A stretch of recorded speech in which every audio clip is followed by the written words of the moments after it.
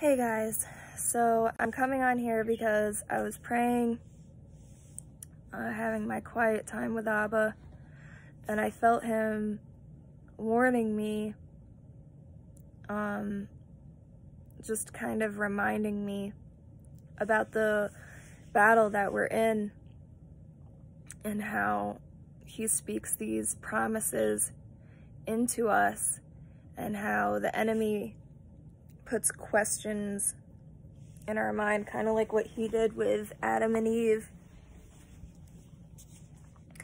And it's so easy to get caught up in the world. It's so easy to get caught up in routine, um, to get caught up in the flesh. And when I say that, I don't even necessarily mean like you know, bitterness or maliciousness or resentment, but I also mean just, uh, you know, just thinking fleshly thoughts, um, even just doing things around the house, doing things at work, and not doing things with the Lord in spirit. And we can go periods of time uh, doing this and forgetting, forgetting where we are, forgetting what's happening, what's coming.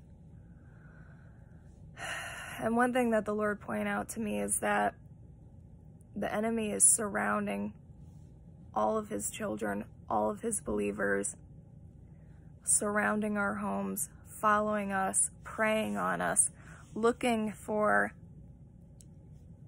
any signs of weakness to hop on us, looking for us to just choose the flesh and open a doorway for him, whether that's through worldly movies, worldly music, worldly conversation, um, following our heart, which we know the heart can be deceiving, instead of following the Lord in these moments.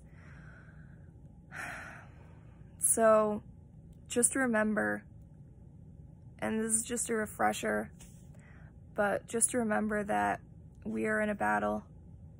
The enemy is watching us. We're targets. And it's very sobering to remember these things. So I just wanted to remind you guys, the Lord reminds me of these things and he gives me these refreshments. Um, and I'm so grateful because it's amazing how you know, you could just get caught up and not even realize sometimes. So I just want to share that with you guys. Remember that everywhere you are, everywhere that you're going, the enemy is also watching us, looking for opportunities to jump in. And yes, we belong to the Lord, but we need to be cautious as well. Lord warns us to walk in the Spirit and not to walk in the flesh for a reason and we're the ones who open the doors to things. So just be cautious of that. Um, remember where we are. Remember to stay awake. Okay? All right, God bless. Bye, guys.